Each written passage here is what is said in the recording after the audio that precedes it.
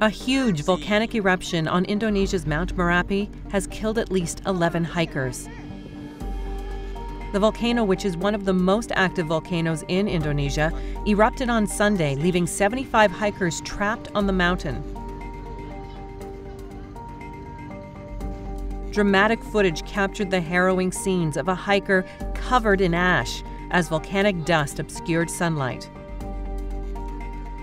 Three hikers were found alive, but the search was suspended as of Monday due to a minor eruption, leaving dozens of climbers trapped on the mountain.